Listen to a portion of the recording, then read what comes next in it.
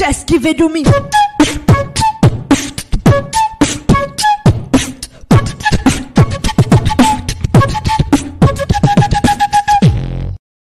Hi all Aravind here so இன்றைக்கி motivation வகுப்பில் என்ன பார்க்க போகிறோம் அப்படின்னு பார்த்தீங்கன்னா ஒரு எ எட்டு விஷயம் வந்து பார்த்தீங்கன்னா உலகத்தில் உள்ள டாப் ஃபைவ் சக்ஸஸ்ஃபுல் பீப்புள் அதாவது பணக்காரனாக இருக்கட்டும் சரி இல்லை வாழ்க்கை ரொம்ப எந்த ஒரு பிரச்சனையும் இல்லாமல் சந்தோஷமாக வாழ்றக்கூடிய எல்லா மனுஷங்களும் இந்த எட்டு விஷயம் வந்து டெய்லிக்கும் பண்ணிக்கிட்டு இருக்காங்களாம். ஸோ இது பண்ணுறதுனால தான் அவங்க வந்து ரொம்ப சக்ஸஸ்ஃபுல்லாக இருக்கிறாங்க அப்படின்னு சொல்லிட்டு ஒரு மென்டர் வந்து எனக்கு வந்து சொல்லி கொடுத்தாரு.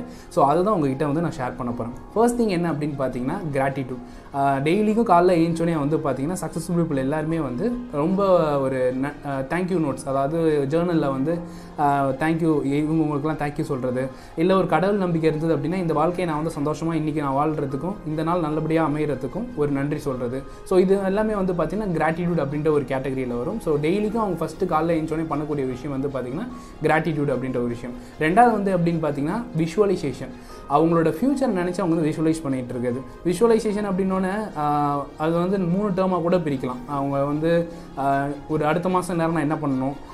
ஒரு அடுத்த வருஷத்துக்கு இந்த நேரத்தில் நான் எப்படி இருக்கணும்? ஒரு பத்து வருஷம் கழிச்சு நான் எப்படி இருக்கணும்? அப்படின்னு சொல்லிட்டு அவங்க அவங்க லைஃப்பை வந்து விஷுவலைஸ் வந்து பண்ணிக்கிட்டே இருப்பாங்களா அவங்க ஃப்யூச்சரை வந்து விஷுவலைஸ் பண்ணிகிட்டே இருப்பாங்களாம். ஸோ மூணாவது வந்து அப்படின்னு பார்த்தீங்கன்னா மூவ்மெண்ட் சக்ஸஸ்ஃபுல் இப்போ எல்லாருமே வந்து பார்த்திங்கன்னா கண்டிப்பாக வந்து எக்ஸசைஸ் அந்த மாதிரி மெடிடேஷன் அதெல்லாம் வந்து பயங்கரமாக பண்ணிகிட்டு இருப்பாங்க. ஸோ மூவ்மெண்ட் உங்கள் பாடியில் வந்து மூவ்மெண்ட் கரெக்டாக இல்லை அப்படின்னா டெஃபினட்டாக உங்களுக்கு வந்து நிறைய நோய்கள் வரத்துக்கு நிறைய பாசிபிலிட்டிஸ் இருக்குது அதனால் சக்ஸஸ் பீப்புள் எல்லாருமே வந்து பார்த்தீங்கன்னா நெ- படத்துலையும் சரி நிறையா ரியல் லைஃப்லையும் பா பார்த்துருப்போம். காலைல சொன்னே இந்த கோல்ஃப் விளாட போகிறது பேட்மிண்டன் விளாட போகிறது அந்த மாதிரி தான் இருப்பாங்க சக்ஸஸ் பீப்புள் எல்லாருமே. ஸோ கண்டிப்பாக அவங்க லைஃப்பில் மூவ்மெண்ட் வந்து இருந்துக்கிட்டே இருக்குமா? அடுத்தது வந்து பார்த்தீங்கன்னா டீப் ஒர்க் இப்போ ஒரு விஷயம் பண்ணுறாங்க அப்படின்னா அது வந்து டீப்பாக ஒர்க் பண்ணுறது சைமல்டேனியஸாக மல்டி டாஸ்க் வந்து பண்ணவே பண்ண மாட்டாங்களா எந்த காரணத்துலையுமே சக்ஸஸ் பீப்புள் எல்லாருமே. ஒரு வேலை இருக்குது அப்படின்னா அந்த வேலையை மட்டும்தான் அவங்க வந்து ஒரு லாஸ்ட்டு ஒரு ஒரு மணி நேரம் இல்லை ஒன் அண்ட் ஆஃப் மணி நேரம் ஆனாலும் பரவாயில்ல அந்த வேலையை முடிச்சுட்டு தான் அடுத்த வேலைக்கு போவாங்கன்னா ஸோ அந்தளவுக்கு அவங்க வந்து டீப் ஒர்க் ஃபஸ்ட்டு ப்ரிஃபரன்ஸாக வைப்பாங்க. மல்டி டாஸ்க் பண்ணவே மாட்டாங்க அடுத்து வந்து பார்த்திங்கன்னா ரீடிங் டெஃபினட்டாக ஒரு நாளைக்கு ஒரு பத்து பேஜாவது ஒரு புக் வந்து படிப்பாங்க. அது புக்குன்றது அவ- ஒவ்வொருத்தவங்களோட துறையை பொறுத்து. இப்போ சினிமாவில் இருக்காங்க அப்படின்னா சினிமா சார்ந்த புக்ஸ் அவங்களோட கெரியருக்கு டெவலப் ஆகுற மாதிரி. ஸோ அது மாதிரி பிஸ்னஸில் இருக்காங்க அப்படின்னா அதர் பிஸ்னஸ் பீப்புள் என்னென்னலாம் சொல்லியிருக்காங்க அப்படின்னு சொல்லிட்டு அவள் வந்து புக்ஸ் மாதிரி எடுத்து படிப்பாங்க. ஸோ அதனால் ஒரு வாக்கியமே இருக்குது என்னென்னா ஒரு புக்கு முன்னாடி டெய்லிக்கும் ஒரு பத்து நிமிஷம் நீங்கள் தலை குனிஞ்சிங்க அப்படின்னா வாழ்க்கையில் நீங்கள் யார் முன்னாடியும் தலை குனியறதுக்கு அந்த புக்கு வந்து அலோவ் பண்ணாது அப்படின்னு சொல்லிட்டு. ஸோ மறக்காமல் நீங்களும் புக்கு படிங்க. நானுமே ஸ்டார்டிங்கில் வந்து புக்கு படிக்கணும்னா என்னடா அது அப்படின்ற மாதிரி இருந்தது.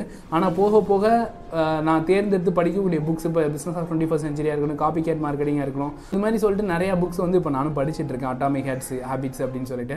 ஸோ நீங்களும் உங்களுக்கு துறையில் உங்கள் லைஃப் ஸ்கிலுக்கு தேவையான விஷயங்கள்லாம் படிங்க. ஸோ நான் அதை படிக்கும் போது தான் அதில் இருக்கக்கூடிய குட்டி குட்டி கான்செப்ட் தான் உங்ககிட்ட வந்து நான் வந்து கொடுக்க முடியுது. ஸோ உங்கள் துறைக்கு சூட்டபுளாக இருக்கக்கூடிய புக்ஸை வந்து டெஃபினட்டாக ஒரு நாளைக்கு அட்லீஸ்ட் ஒரு பத்து பேஜாவது படிங்க. அடுத்தது வந்து பார்த்தீங்கன்னா ஜேர்னலிங் ஜேர்னல் பற்றி நான் நிறைய வீடியோஸ் வந்து நான் பதில் போஸ்ட் பண்ணியிருப்பேன் ஜேர்னல்ன்றது அப்படின்றது எக்ஸ்டர்னல் வெர்ஷன் ஆஃப் பிரெயின் அப்படின்னு சொல்லுவாங்க.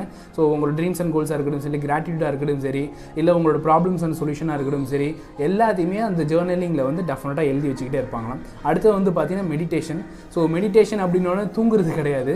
ஸோ நீங்கள் பார்த்துருப்பீங்க ரியல் லைஃப்லையும் சரி இல்லை சினிமாலையும் சரி மெடிடேஷன்லாம் பிஸ்னஸ் மேன் வந்து டெஃபினட்டாக பண்ணுவாங்க.